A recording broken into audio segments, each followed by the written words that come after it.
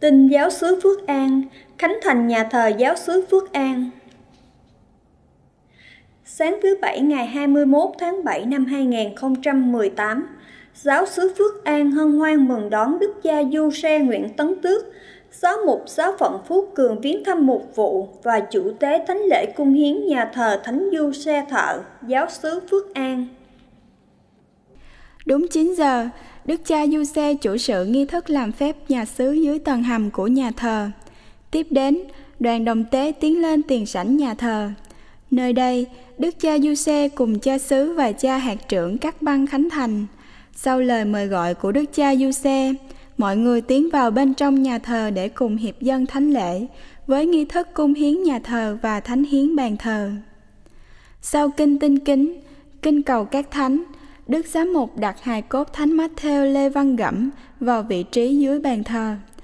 Thánh Matthew Lê Văn Gẩm sinh năm 1813 tại làng Long Đại, đất Gò Công, tỉnh Biên Hòa, nay thuộc Thủ Đức.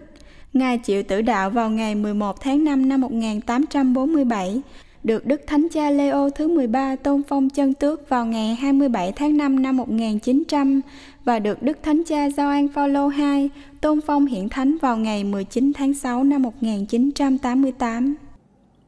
Trở lại bàn thờ, Đức Giám mục giang tay đọc lời nguyện cung hiến, sau đó Ngài đổ dầu thánh lên chính giữa và các góc bàn thờ, rồi lao cẩn thận.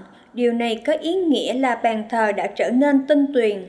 Cùng lúc đó, cha Gioan Lê Quang Tuyến và cha Du Xe Nguyễn Minh Chánh sức dầu thánh giá nơi các trụ cột nhà thờ với cùng một ý nghĩa như trên. sông hương bàn thờ và nhà thờ với ý nghĩa nhà thờ Thiên Chúa luôn luôn thơm tho dịu dàng cho những ai đến với đền thánh của Ngài. Sau đó, Đức Giám Mục làm phép lửa. Lửa là ánh sáng tượng trưng cho sự sống, xóa tan đi bóng tối sự dữ.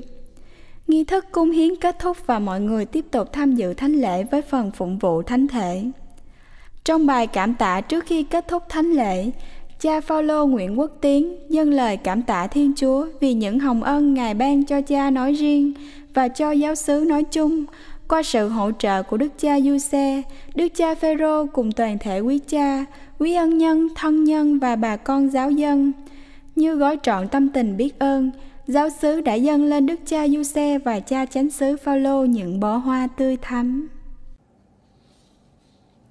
Nhân dịp này, các cấp chính quyền tỉnh Bình Phước cũng có những lẵng hoa chúc mừng đến giáo sứ.